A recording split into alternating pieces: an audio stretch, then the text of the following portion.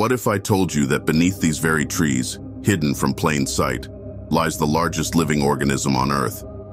It's not a whale, nor a giant redwood. It's something far more ancient and far more mysterious.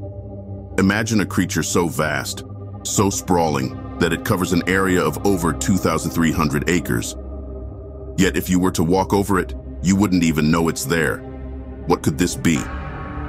Deep within the forests of Oregon, USA, lives a giant, a colossal organism known as Armillaria ostoyae, or more chillingly, the humongous fungus.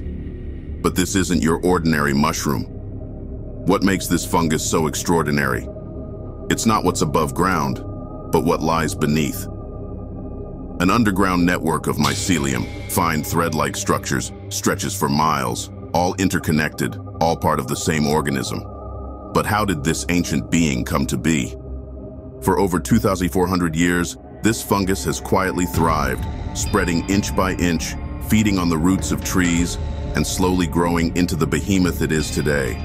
It has survived through countless seasons, weathering storms and forest fires, remaining resilient and enduring, a testament to the power of nature.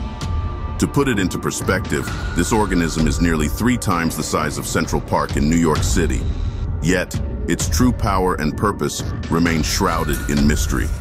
How can something so vast, so ancient, go unnoticed for so long? And while it may seem benign, this giant is a silent killer. Slowly, it invades trees, feeding off their roots, gradually draining the life from its hosts. It's a reminder of nature's duality, its beauty, and its relentless, unforgiving force. But this is just one of the many hidden giants of our world. What other colossal secrets might be lurking just beneath our feet? Stay tuned for more mysterious wonders.